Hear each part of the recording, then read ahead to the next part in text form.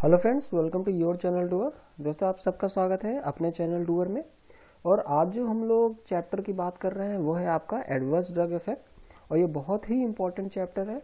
जैसा कि मैं पहले बता चुका हूँ कि जो आपके फ़र्स्ट टेन चैप्टर्स हैं, इसमें से मैक्सिमम क्वेश्चन आएँगे। तो इसको आपको कंसेप्टुअल वे में करना है और थोड़ा सा डेप्थ में जाना है, समझना है चीज़ों को।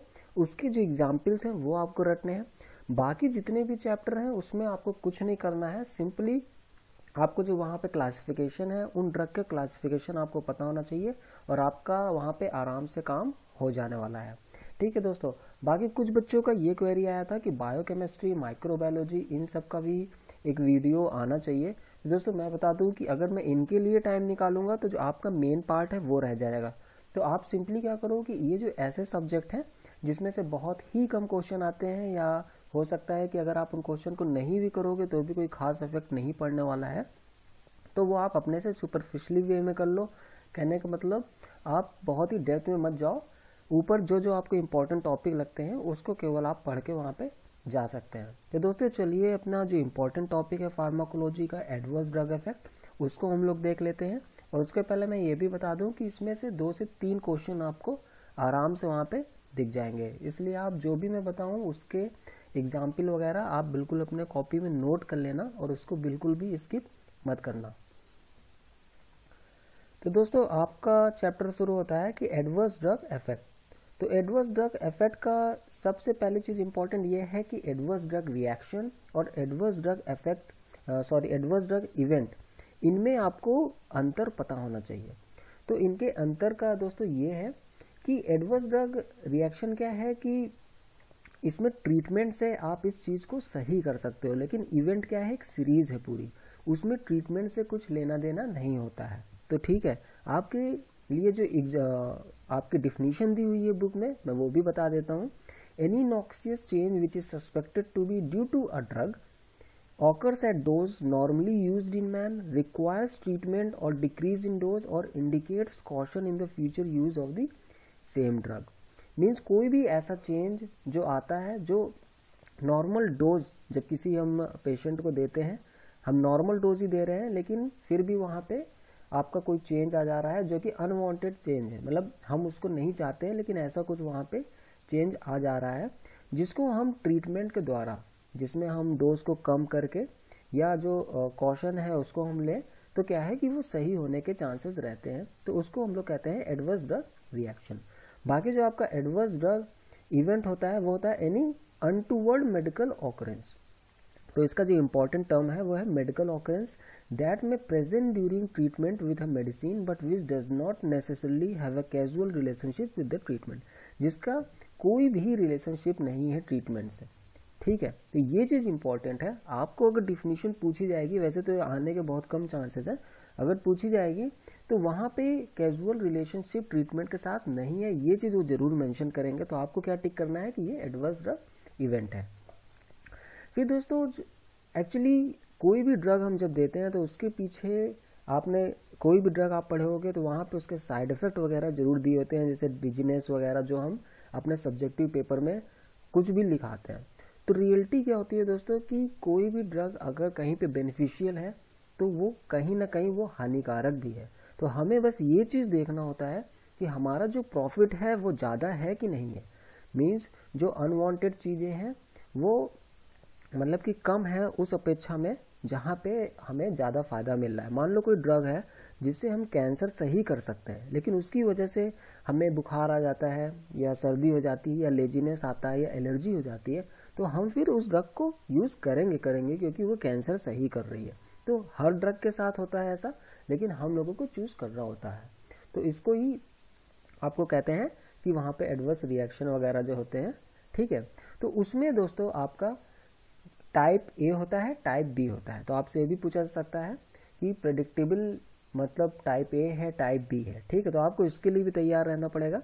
प्रेडिक्टेबल को हम टाइप ए रिएक्शन भी कहते हैं ऑगमेंटेड रिएक्शन भी कहते हैं, या मैकेनिज्म बेस्ड रिएक्शंस भी कहते हैं। फिर जो आपका अनप्रडिक्टेबल होता है, उसको हम टाइप बी कहते हैं या बिजेरे रिएक्शंस भी कहते हैं। अब जो प्रिडिक्टेबल है, वो नाम से आपको बता रहा है कि ये कॉमन होते हैं डोज रिलेटेड होते हैं और इनको हम प्रिवेंट कर सकते हैं और इनको हम सही कर सकते हैं। तो ये हुए आपके प्रिडिक्टेबल कि हमें पहले से पता है कि इस डोज में ये चीज़ होती है, ज़्यादा डोज लेने से ये यहाँ पे एडवर्स दिखाएगा तो हम उसमें कम डोज करके उसको सही कर सकते हैं। लेकिन अनप्रडिक्टेबल क्या है? कि हमने नहीं देखा, लेकिन वो वहाँ पे रिएक्शन आ जा रहा है। ठीक है? तो वो हुआ आपका टाइप बी या बिजेरे रिएक्शन जिसको हम सही नहीं कर सकते। फिर दोस्तों, आपका है सिविरिटी ऑफ़ ड्रग रिएक्शंस तो इसमें मतलब कि जो ड्रग रिएक्शंस होते हैं, वो किस स्टेज के होते हैं? जैसे आपका माइनर होता है मॉडरेट होता है सीवियर्ड होता है और लिथल होता है। तो माइनर आपको पता है कि बहुत कम होगा। उसमें जो कैजुअलिटी होने का चांसेस है बहुत कम तो माइनर हुआ। फिर आपका सीवियर्ड है सीवियर्ड मीन्स कि हॉस्पिटलाइजेशन हो गया वो पेशेंट लेकिन बहुत दिनों के लिए, और लीथल मीन्स उसकी डेथ हो जाती है। ये आपको पता है। इंपॉर्टेंट क्या है? अगर आपसे एग्जामिनर वहाँ पे पूछेगा तो वो पूछेगा कि मॉडरेट क्या है। मीन्स मॉडरेट की डिफिनेशन होती है कि कम से कम जो पेशेंट है, उसको हॉस्पिटलाइज किया जाता है बाई एटलीस्ट वन डे मतलब एक दिन के लिए उसको हॉस्पिटलाइज किया ही जाता है। उस सिचुएशन को हम कहेंगे मॉडरेट ड्रग रिएक्शन तो इसलिए यहाँ पे इंपॉर्टेंट है आपका मॉडरेट फिर फार्माको विजिलेंस तो दोस्तों, ये जितना भी एडवर्स ड्रग रिएक्शन होता है तो इसकी निगरानी के लिए मीन्स इनका जो डिटेक्शन है असेसमेंट है, और इनको जानने के लिए, फिर इनका जो प्रिवेंशन करना है, इसके लिए जो एक कोर सब्जेक्ट बना है, या एक ब्रांच है, उसको हम कहते हैं फार्माको विजिलेंस और ये बहुत ही इंपॉर्टेंट है, ये एग्जामिनेशन में आने के बहुत ज़्यादा चांसेस है। तो इसको आप वर्ड रट लीजिए, ये फार्माको विजिलेंस हुआ। ठीक है? अब फार्माको विजिलेंस हर कंट्री में अपना एक फार्माको विजिलेंस है। जैसे इंडिया में ये फार्माको विजिलेंस जो देखती है कि किसी ड्रग से एडवर्स ड्रग रिएक्शन या इफ़ेक्ट तो नहीं आ रहा तो वो है एम्स हमारा जो एम्स संस्थान है, वो देखता है इस चीज़ को। इसी तरह हर कंट्री में एक इंस्टीट्यूट होता है जो इस चीज़ों को देखता है। तो उनकी जो जितने भी कंट्री हैं, उनकी एक कोलोब्रेशन मीन्स उनको कौन निगरानी करता है? उनको निगरानी करता है उपसला मॉनिटरिंग सेंटर, जो कि स्वीडन में लोकेटेड है। तो ये बहुत ही इंपॉर्टेंट है और ये आता भी है और फिर से आ जाएगा, क्योंकि ये है ही ऐसी चीज़ है ऐसा पॉइंट है कि जितने भी फार्माकोविजिलेंस सेंटर हैं डिफरेंट डिफरेंट कंट्रीज़ में, उसकी निगरानी के लिए जो एक सेंटर बना है, वो है उपसला मॉनिटरिंग सेंटर, वो है स्वीडन में। अब आपका category of adverse drug effect ये आपके साइड इफ़ेक्ट होते हैं सेकेंडरी इफ़ेक्ट होते हैं टॉक्सिक इफ़ेक्ट होते हैं intolerance idiosyncrasy drug allergy photosensitivity drug dependence drug withdrawal reactions teratogenicity mutagenicity and carcinogenicity फिर आता है आपका ड्रग इंड्यूस डिजीजेस तो इतने तरह के ये आपके कैटेगरी हैं। इनको आपको रटना नहीं है, ठीक है? आप वहाँ पे सब्जेक्टिव एग्जामिनेशन देने नहीं जा रहे हैं तो इसको आपको बिल्कुल भी रटना नहीं है। आपको रटना कहाँ है वो आपको मैं बता दूँगा। साइड इफ़ेक्ट जैसा आपको पता है, आप इतना ज़्यादा पढ़ते हैं, हर हर एक ड्रग का साइड इफ़ेक्ट है। तो आपको इसको कैसे पढ़ना है? आपसे जो क्वेश्चन पूछा जाएगा, वहाँ पे आएगा कि atropine is use in pre anaesthetic medication for its anti secretory action the same action produces dryness of mouth as a side effect as a dryness of mouth ठीक है? तो ये क्या चीज़ है? साइड इफ़ेक्ट है सेकेंडरी इफ़ेक्ट है toxic effect है या इडियोसिनक्रेसी है? ठीक है तो आपको वहाँ पे देना पड़ेगा कि ये इस ड्रग का साइड इफ़ेक्ट है। या ये भी आपसे पूछा जा सकता है कि जो एट्रोपिन ड्रग जब प्री एनेस्थेटिक मेडिकेशन के लिए दी जाती है, ठीक है for its anti secretory action के लिए तो वहाँ पे कौन सा साइड इफ़ेक्ट देखने को मिलता है, जिसमें वो एक ऑप्शन में रख देंगे प्रोड्यूसेस ड्राइनेस ऑफ़ माउथ तो आपको टिक करना है ड्राइनेस ऑफ़ माउथ इसी तरह सेकेंडरी इफ़ेक्ट जो होता है, वो एक्चुअली क्या होता है कि जो आपका प्राइमरी ड्रग का जो एक्शन है मतलब जो जिस चीज़ के लिए आप ड्रग ले रहे हो, उसका एक इनडायरेक्ट रिज़ल्ट भी आ जा रहा है। ठीक है, उसको हम कहते हैं सेकेंडरी इफ़ेक्ट जैसे जब हम टेट्रासाइक्लिन लेते हैं बैक्टीरियल फ्लोरा की जो ग्रोथ हो रही है, उसको रोकने के लिए तो देखा गया कि वहाँ पे सुपर इन्फेक्शन के लिए दरवाजे खुल जाते हैं। मतलब वहाँ पे इन्फेक्शन होने के और ज़्यादा चांसेस बढ़ जाते हैं। बैक्टीरियल फ्लोरा तो कम होता है सप, सप्रेस होता है लेकिन सुपर इन्फेक्शन के लिए दरवाजे खुल जाते हैं। तो ये क्या हुआ? ये इसका इनडायरेक्ट आपका रिज़ल्ट है। ठीक है? इसी तरह जब कॉर्टिकोस्ट्रॉइड को हम लेते हैं we can host defence mechanism so that the latent tuberculosis activated तो वो क्या करता है कि जो हॉस्ट है जिसपे हम कॉर्टिकोस्ट्रॉइड दे रहे हैं उसका जो डिफेंस मैकेनिज्म है वो कमज़ोर पड़ जाता है जिसकी वजह से ट्यूबरकुलोसिस एक्टिवेट हो जाता है। ठीक है तो ये सब क्या है कि इनडायरेक्ट रिज़ल्ट है। ये हुए आपके सेकेंडरी इफ़ेक्ट फिर आपके टॉक्सिक इफ़ेक्ट आपको पता ही है कि जब भी हम ओवरडोज लेते हैं या किसी भी ड्रग को बहुत लंबे समय तक लेते हैं प्रोलॉन्ग यूज़ करते हैं तो उससे टॉक्सिक इफ़ेक्ट होने के ज़्यादा चांसेस रहते हैं।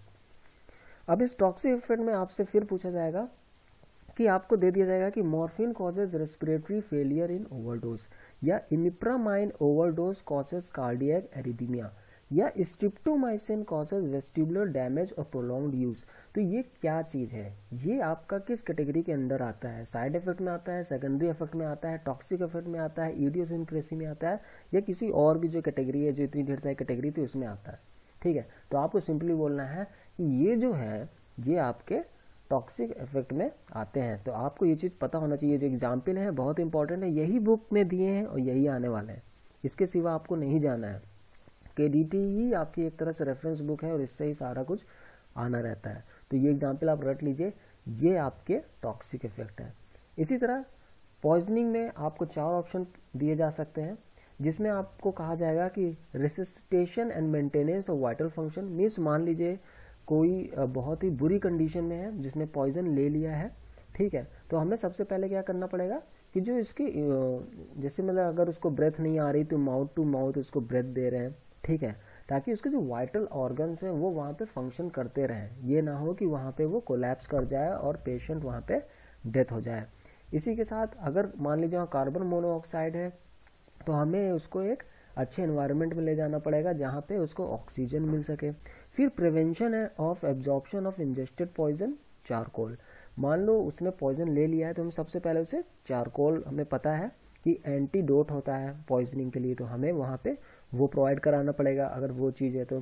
फिर इसके बाद हैसनिंग एलिमिनेशन मीन्स हमें उसको डायोरिसिस कराना पड़ेगा मीन्स यूरिन स्क्रीशन कराना पड़ेगा ताकि जो भी पॉइजनस सब्सटेंस है, वो यूरिन के थ्रू निकल जाए, जिसके लिए हम फ्यूरोसीमाइड और मैनिटोल जैसी ड्रगें दे सकते हैं। तो वो आपसे पूछ सकता है कि वहाँ पे आपको चार ऑप्शन दे सकता है। चार या इसमें से जो भी ऑप्शन दे दे, तीन ऑप्शन दे दे। फिर इसके बाद एक चौथा ऑप्शन दे देगा कि इसमें से ऑल ऑफ़ द एबो और ट्रू तो जैसे मैं आपको पहले बता चुका हूँ कि तुक्का मारने की जो विधि है, उसका भी वीडियो था, कि अगर ऑल कहीं आ रहा है तो आपको वहाँ पे सतर्क हो जाना है कि ऑल बहुत ज़्यादा चांसेस होते हैं 90 परसेंट चांसेस होते हैं कि ऑल ऑफ़ द एबो सही रहता है। इसलिए अगर ये चारों दे रहा है तो आपको वहाँ पे टिक करना है कि all of the above means poisoning की कंडीशन में हमें चारों ही चीज़ें वहाँ पे उसके फेवर में है। ठीक है?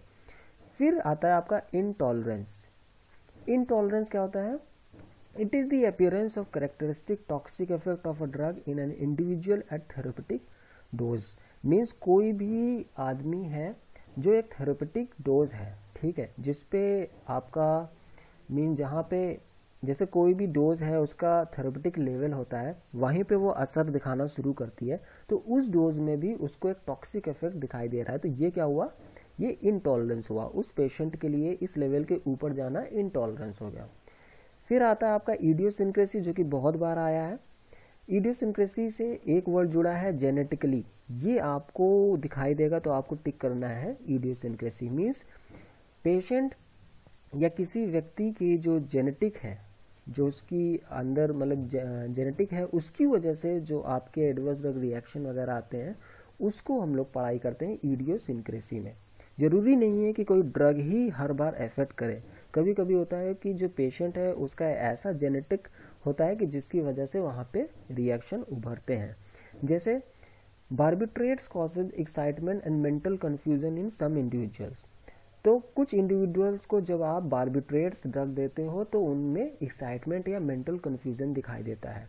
तो ये सम इंडिविजुअल्स को होता है, जिनके जेनेटिक में कुछ प्रॉब्लम होती है, या प्रॉब्लम ना कहें तो मतलब वो इन ड्रग से कुछ अजीब सी हरकतें करने लगते हैं। फिर क्यूनिन क्यूनिडीन है, वो देने पे क्रैम्स, डायरिया, परप्यूरा, एस्थमा और वेसिकुलर कोलैप्स भी कुछ पेशेंट्स में देखे गए हैं। फिर chloramphenicol produces non dose related serious aplastic anaemia in rare individuals तो कुछ इंडिविजुअल्स में क्लोरमफेनिकॉल जब हम दिए तो हमें ए प्लास्टिक एनीमिया के भी लक्षण दिखाई दिए। तो बहुत ही रेयर इंडिविजुअल्स में दिखाई दिए। ऐसे आप दोगे जो एक एवरेज आपके पेशेंट्स ग्रुप है तो उनमें नहीं दिखाई देंगे, लेकिन कुछ में दिखाई दिए। तो ये सब क्या है? ईडियोसिंक्रेसी के अंडर आता है। फिर आपका आता है drug allergy allergic reaction occur in a small proportion of the population expose to the drug means आप ड्रग एलर्जी आप समझी गए होंगे कि जो आपको ड्रग से एलर्जी होती है ये भी कई टाइप की होती है जिसमें mechanism type of allergic reaction हम पढ़ेंगे कि कैसे होता है तो आप उसमें पढ़ोगे ह्यूमेरल और सेल मीडिएटेड जिसमें से क्वेश्चन पहले भी जीपैट में आ चुके हैं। तो ह्यूमेरल में आपको इंपॉर्टेंट वर्ड याद करना है कि मैस्ट सेल्स जैसे ही वर्ड दिखाई देगा, आप टिक करोगे ह्यूमेरल वरना आप वहाँ पे सेल मीडिएटेड उसको कर दोगे। ठीक है? ह्यूमेरल को हम टाइप वन भी कहते हैं एनाफाइलेक्टिक रिएक्शंस भी कहते हैं और इमीजिएट हाइपर भी कहते हैं। अब जैसे ये क्या करते हैं कि सबसे पहले कोई भी चीज़ बाहर से आती है तो हमारी बॉडी इस पर एंटीबॉडीज बनाती हैं। और आपको पता है कि चार पाँच तरह के आपके, पाँच तरीके के आपके ये एंटीबॉडीज होती हैं, जिसमें से आईजीई जो है, ठीक है, वो क्या करती है, सबसे पहले मैथ सेल्स पे जाके फिक्स हो जाती है और अपना असर दिखाना शुरू करती है। तो आपसे जो एग्जामिनेशन में पूछा जाएगा, वो मैथ सेल्स का ज़रूर ज़िक्र करेंगे, जो कि आपके ह्यूमरल रहेगा। ये आपके इमीडिएट हाइपर सेंसिटिविटी है एनाफेलेक्टिक रिएक्शन है और टाइप वन रिएक्शन भी है। फिर आता है आपका साइटोलाइटिक रिएक्शन जिसमें ड्रग प्लस कंपोनेंट मिलके एंटी एजी का काम करेंगे आपका। फिर आपका यहाँ पे साइटोलिसिस होगा मीन्स वहाँ पे सेल ब्रेक करेंगे और वो अपना असर दिखाना शुरू करेंगे। ठीक है, जिसमें आपका थ्रोम्बोसाइटोपिनिया आता है एग्रेनुलोसाइटोसिस आता है ए प्लास्टिक एनीमिया आता है हीमोलाइसिस आता है और ऑर्गन डैमेज आता है। तो यह है आपके साइटोलाइटिक रिएक्शन में। फिर आता है आपका रिटार्डेड आर्थस रिएक्शन तो इसमें आपके जितने भी इन्फ्लेमेटरी कंडीशन है, वो आते हैं। जैसे वहाँ पे rashes serum sickness poly arteritis nodosa Stevens Johnson syndrome तो ये है आपका रिटार्डेड आर्थस रिएक्शंस में। फिर आता है आपका सेल मीडिएटेड तो दोस्तों सेल मीडिएटेड में जैसे अभी आपने देखा, पीछे एंटीबॉडीज थी आईजी ई की हम बात कर रहे थे एंटीबॉडी की। यहाँ पे आपका वो नहीं दिखाई देगा। सेल यहाँ पे टी लिम्फोसाइट सेल्स यहाँ पे आपका असर करना शुरू करते हैं, जिसकी वजह से रिएक्शन वगैरह होते हैं। तो टी लिम्फोसाइट अगर ज़िक्र आ रहा है तो ये आपका सेल मीडिएटेड है, और अगर आपका एंटीबॉडी ज़िक्र आ रहा है तो वो आपका ह्यूमोरल है। फिर आता है आपका फ़ोटो सेंसिटिविटी तो ये फ़ोटो सेंसिटिविटी फोटोटॉक्सिक होती है दोस्तों, और फ़ोटो एलर्जिक होती है। फोटोटॉक्सिक वो होती है जिसमें शॉर्टर वेवलेंथ यूज़ होती है 290 से 320 नैनोमीटर की, और अल्ट्रावायलेट बी ये रिस्पॉन्सिबल होते हैं। तो आपके क्वेश्चन में आएगा तो आपको मेंशन करना होगा कि 290 से 320 एनएम और अल्ट्रा अल्ट्रावायलेट बी ये फोटोटॉक्सिक करते हैं, जो कि सन बर्न टाइप इफ़ेक्ट वहाँ पे शो करते हैं।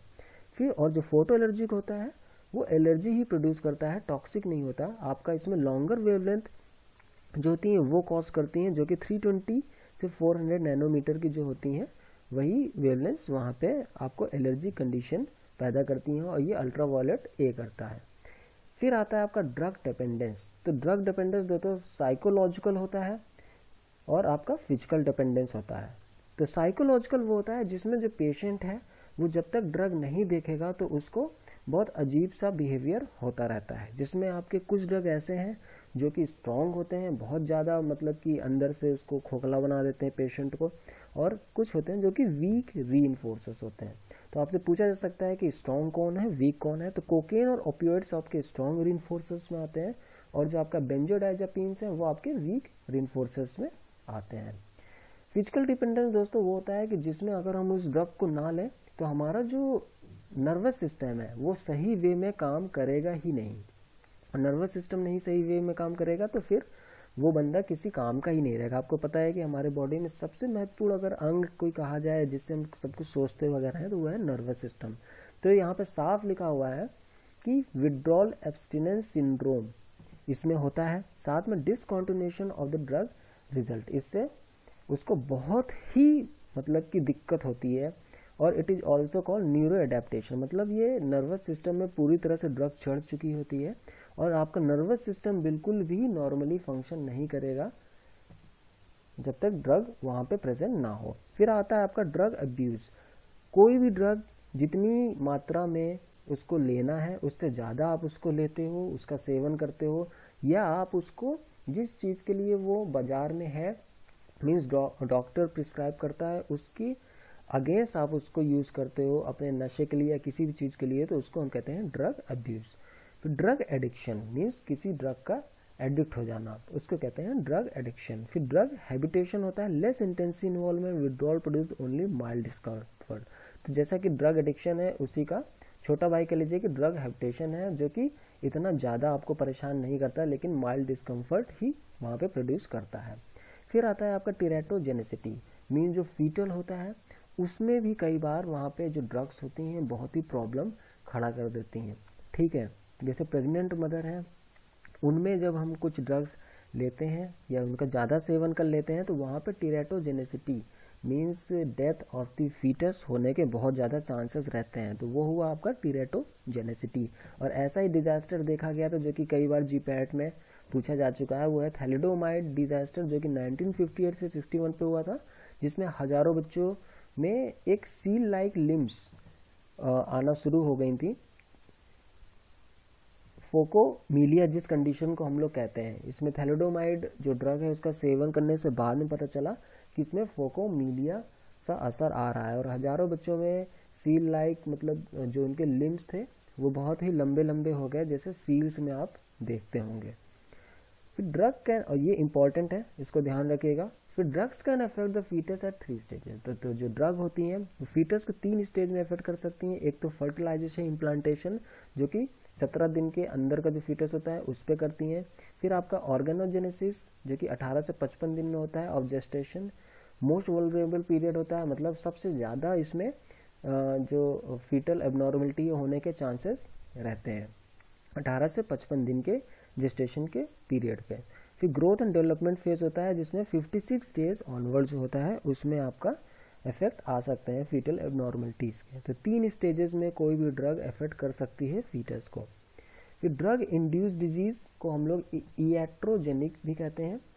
Physician induce disease persist even when the offending drug has been withdrawal तो ये जो ड्रग है, इसका जो असर है, वो बाद में भी रहता है। ठीक है तो इसमें जो इम्पोर्टेंट चीज़ है, वो है इएट्रोजेनिक तो ड्रग इंड्यूस डिज़ीज़ को हम लोग इएट्रोजेनिक भी कहते हैं।